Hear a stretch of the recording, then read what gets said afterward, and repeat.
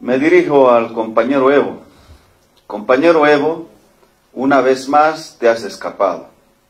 Una vez más has delegado tu responsabilidad a otra persona. Ayer debiste estar en toda la reunión y no salirte cuando te viste perdido por todas las organizaciones políticas que hay en Bolivia. No has cumplido con tu responsabilidad. Por eso es que las organizaciones sociales te reclaman, te rechazan y por eso también hicieron un congreso en la ciudad del Alto. Estás faltando a tu responsabilidad, no solamente como miembro del movimiento al socialismo, sino también como hombre boliviano.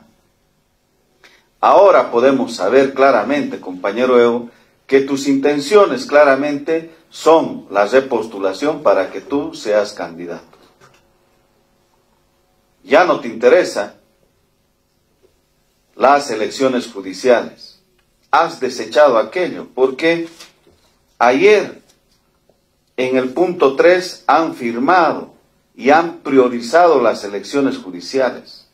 Y a vos no te ha interesado. Pese a que sacaste a los compañeros del trópico de Cochabamba para bloquear 16 días, donde perdimos todos los bolivianos más de mil millones de dólares y cuatro vidas. Entonces, definitivamente, no te interesa las elecciones judiciales, sino como dijiste en tu declaración, que si no hay primarias vas a salir a las calles. ¿Acaso en democracia, compañero Evo, el que tiene más votos no es el que se impone? Ayer por mayoría, menos vos, que una vez más faltaste a tu responsabilidad, ¿no vas a hacer caso? todas las organizaciones políticas han dicho y han priorizado las elecciones judiciales y vos estás en contrarruta, estás queriendo priorizar las elecciones primarias. ¿A quién favorecen? Si al interior de nuestro instrumento político que tanto nos costó a vos, a mí y a muchos otros militantes que haya plena democracia al interior del MAS y ahora te opones. No estamos de acuerdo con tu posición y no vamos a estar de acuerdo que te sigas escapando. Todas las organizaciones políticas que existen en Bolivia también han firmado un acuerdo, menos el compañero Evo y menos el ala vista. Ahora vamos a ver si aprueban esta ley que ellos es decir, el ala vista, decía que le interesaba las elecciones judiciales. Ahora vamos a ver si van a aprobar o no van a aprobar. Porque es una responsabilidad de diputados y senadores. Y el ala vista se ha estado oponiendo y no ha estado trabajando en la asamblea. Un año antes deberían de haber convocado a la asamblea. Y obviamente, fácil para ellos es responsabilizar a nuestro gobierno total falsedad. La constitución política del Estado les da toda la potestad para llamar no solamente a las elecciones judiciales, sino también para que ellos puedan calificar, para que ellos puedan entrevistar a los postulantes. Entonces, vemos que la sociedad en su conjunto ya ha abierto los ojos y también los oídos porque hay más de mil millones de dólares bloqueados en la Asamblea. Eso es lo que hay en estos momentos. No quieren aprobar. A la fuerza quieren imponerse para que sea candidato el compañero Evo. Y ayer no se lo han permitido las organizaciones políticas, menos aún el Tribunal Supremo Electoral porque obviamente saben que ellos estarían violando no solamente la constitución, sino la ley de partidos políticos.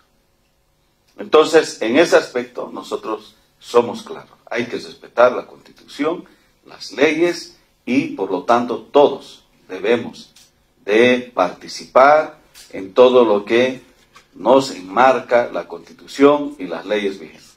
Compañero Evo, la cobardía hace hablar muchas cosas. Primero, has querido que todos piensen en Bolivia que, se, que fue un autogolpe. ¿Por qué? A vos te conviene que, se diga que sea autogolpe porque vos y tus ministros de entonces se escaparon. ¿O no fue así, compañero Evo? En cambio, el presidente Lucho se quedó junto con sus ministros a defender la democracia que tanto le costó al pueblo boliviano. Y te hago recuerdo, muertos en Sacaba, muertos en Sencata, muertos en Montero. ¿De eso ya te has olvidado? El día de ayer, compañero Evo, te escapaste nuevamente de la reunión del Tribunal Supremo Electoral. Y perdiste por goleada, porque en un principio también querías hacer creer que vos priorizabas las elecciones judiciales. Y ahora has salido priorizando las elecciones primarias. Entonces, no sirvió lo que convocaste, lo que bloqueaste por 16 días en Parotani y en el trópico de Cochabamba, donde hubieron pérdidas de cuatro fallecidos y más de mil millones de dólares en pérdidas económicas. Entonces, es fácil insultar, atacar a los compañeros, a los hermanos que hemos dado, hemos ofrendado incluso la vida por nuestro instrumento y por Bolivia. Entonces, muy poco ya te queda, mi compañero Evo, de las personas que te puedan creer de lo que vos emites. El día de ayer fue fatídico, fue fatal para tu persona y para tu entorno. No debiste nunca escaparte de la reunión del Tribunal Supremo Electoral. Eso hace quedar mal, no solamente al movimiento socialismo, sino también a los campesinos que venimos de adentro, que siempre afrontamos los problemas. Los dueños del MAS son nuestras organizaciones sociales, son ellas las que reafirmaron, las que pusieron las vidas, pero además de eso los que impulsan la transformación de nuestra Bolivia. Su aviso de CRE. Uy, uy, uy. Oiga, usted de verde, venga. Vigilante verde, para servirle. Ñe, vigilante verde, disque. Mire mi aviso, está el doble que el mes pasado. Mm, caso perfecto para el vigilante verde. Tengo una misión entre ceja y ceja y es detectar el consumo excesivo de energía.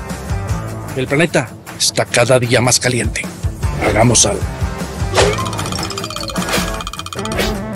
No abra tanto la heladera para que el motor no trabaje de más. Ponga el aire a 24 grados para no desperdiciar energía. Verifique que las puertas y ventanas estén bien cerradas. Y cuando salga, apáguelo. A cuidar la energía, el planeta y el bolsillo. Cree, consumo responsable. Que cuida tu bolsillo. Esta empresa es fiscalizada, controlada, supervisada y regulada por la Autoridad de Fiscalización de Electricidad y Tecnología Nuclear. Ay, Alicia, tanta cosa que pasa en todo lado. Todo es inseguro, ¿no? Ay, soy capaz de pegarte como a portón de fierro sin timbre en casa de sordo. Si ahora no puede vivir más tranquilo. Y además ahora puedes tener tu seguro con Alianza. Pero, ¿cómo es un seguro? ¿Cómo funciona? Caro debe ser, ¿no? No, nada que ver. Ahora con tu Alianza puedes asegurar tu familia, tu salud, tu puesto, tu casa, tu todo. Y todo eso con apenas una cuotita pequeñita al mes y listo. Gracias, Alicia. Ahora mismo voy a Alianza a buscar más información. Pensar en el mañana es muy necesario para poder vivir tranquilos hoy. Infórmate más acerca de los seguros Tu Alianza que se ajusten a tu necesidad. Alianza, contigo por siempre.